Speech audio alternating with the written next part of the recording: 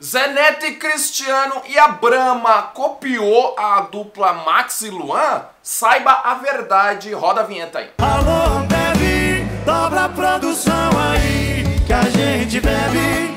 Outro momento, bom, eu sou o Miller Bento, você está aqui no canal TV, meu sertanejo, canal mais sertanejo do Brasil. É o canal que mais cresce no Brasil também, tá? Vai respeitando. Bom, já vai se inscrevendo no canal, vamos bater aí 320 mil inscritos, já estamos com 306 mil inscritos. Vocês estão surpreendendo a gente, você sabe que é vídeo diário. Ontem saiu a composição do Luan Santana, confere lá. Já deixa o dedo no like, vamos bater 3 mil likes. Bom, galera, semana passada, Zé Neto e Cristiano e a cerveja Brahma, que é da Ambev, eles lançaram a cerveja duplo malte. Inclusive, a gente tem que agradecer aqui a Ambev e a Brahma, eles convidaram a gente para ir ao evento, porém a gente não conseguiu ir, infelizmente, mas uma próxima a gente vai sem dúvidas. E nesse lançamento, turma, a Ambev também lançou um novo projeto, uma nova label, como que falam aí no mercado sertanejo, que é o Esqueminha, que seria um festival aí da Ambev, que quem iria encabeçar este projeto, a princípio, é a dupla Zenete e Cristiano. E já tem a primeira data do Esqueminha, que vai ser em Campinas. Inclusive eu vou, rapaz, eu vou comprar o ingresso depois de gravar esse vídeo aqui. Pra vocês entenderem toda a polêmica eu preciso ler esse trecho aqui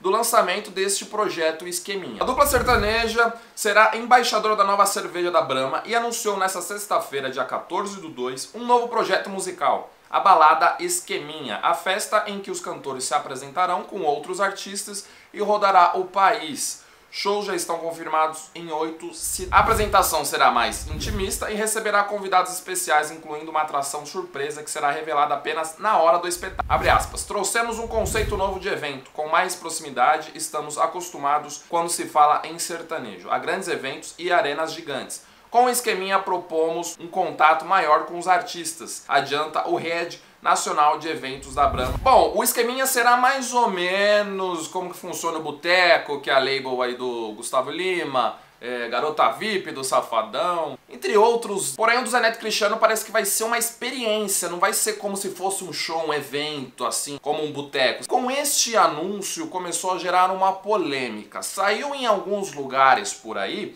que a dupla Zenete Cristiano roubou este nome da dupla Max e Luan. Porém, galera, antes de a gente publicar alguma coisa, a gente precisa escutar os dois lados, ainda mais quando você vai fazer uma acusação de roubo. Já aconteceu com a gente aqui no canal em relação a isso, no começo do canal, onde a gente precisava escutar os dois lados e a gente não escutou os dois lados. Isso foi um aprendizado muito grande, a gente cresceu com isso. E com isso, turma, a dupla Max e Luan, eles postaram uma imagem, inclusive foi no perfil do Luan, segundo a voz aí da dupla, ele postou esta foto aqui. Estilo artista gringo do esqueminha que só cresce a cada dia, a cada evento. A vocês, muito obrigado sempre. Tamo junto sempre, meu povo. O que é seu, ninguém vai tomar. Amém? Eu fui atrás do Luan, do Max Luan, para ver se eles tinham alguma coisa relacionada ao evento do Zeneto Cristiano. Porque no evento eles falam que tem uma atração surpresa. Aí eu perguntei se seriam eles. Ele falou, pior que não, essa label é nossa.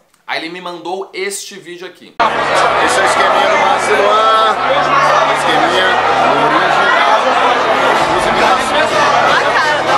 Aí ele falou para eu lançar isso daí, porém eu tava atrás de informações para fazer este vídeo aqui para vocês. Aí ele comentou, os caras já têm o espaço deles é esse evento é nosso e do escritório Sonho Produções. Aí eu falei para ele, vocês poderiam registrar a label, né? É o nome Esqueminha. Aí ele falou, não tem como registrar, porque é um nome. Igual tentar patentear o nome ar-condicionado, entende? Aí ele continuou, só que esse formato de evento, a gente faz ele há mais de oito meses. Essa ideia da label, inclusive, é, é minha. Eu que passei dias pensando num nome legal, que não existia no mercado. Inclusive, é o nome do meu álbum de 2019. E aí, turma, essa é o lado do Max Luan. Aqui a gente, a gente não fica do lado de ninguém, a gente quer passar informação sincera e verdadeira para vocês.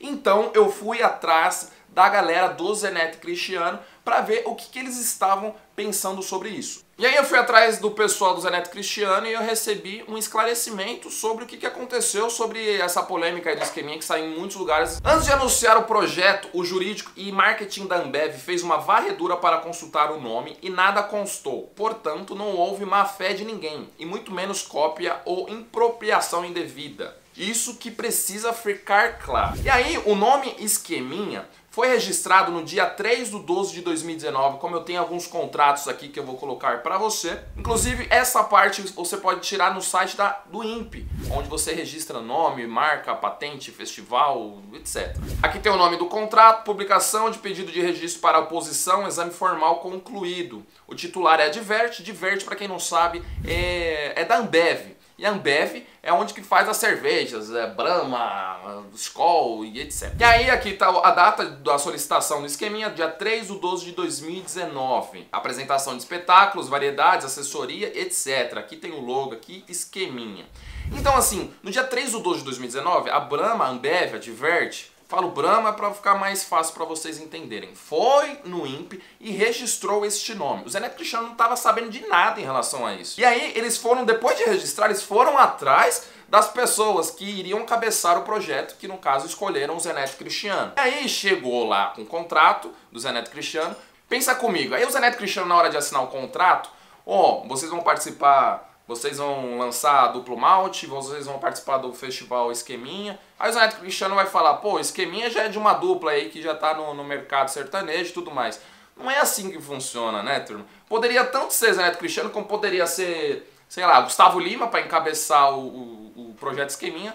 Não Gustavo porque ele tem um boteco, mas outro cantor aí, Israel Novaes, por exemplo. Não, não tem como o Zeneto Cristiano falar para eles alterarem o nome depois de fizerem o contrato e tudo mais. Então não houve má fé do Zeneto Cristiano. Sim, é chato acontecer essa situação de alguém tá usando o nome para fazer show e tudo mais e vem uma marca gigantesca como a Ambev e registra o nome. Ah, é chato. Na minha visão, o Max Luan deveria registrar o nome esqueminha. E no final das contas, a gente não tem que colocar a culpa em Zeneto Cristiano. Se você quiser ficar chateado, ficar bravo, você tem que ficar com a Diverte que registrou o nome. Inclusive, falando em registro, se você não sabe, o Gustavo Lima, ele registrou a palavra embaixador, registrou a palavra AIBB, registrou muito, bebê, registrou. Então, assim, só a letra B e B. Então, assim, é, essa, essa, o que o Luan falou, ah, não tem como registrar a palavra ar-condicionado, mas você está registrando uma, um festival, você não está registrando a palavra ar-condicionado, entendeu? Então, são essas coisas aí que o Max Luan deveria se atentar antes de sair aí, né, com este projeto. Então é isso, galera. Espero que fique claro para vocês aí. Espero que Max Luan não fique chateado comigo aqui, porque a gente não puxa pro lado de ninguém. A gente passa os dois lados da informação. Não adianta não, dá só um lado ficar como certo da situação, igual saiu por aí, e o outro lado é, não, não ouviu o outro lado. Então a gente ouviu os dois lados. Você que está assistindo, já deixa o dedo no like, comenta aí o que, você achou. Então é isso, galera. Espero que vocês tenham gostado. Tchau, obrigado. Aperta no botãozinho vermelho e fomos!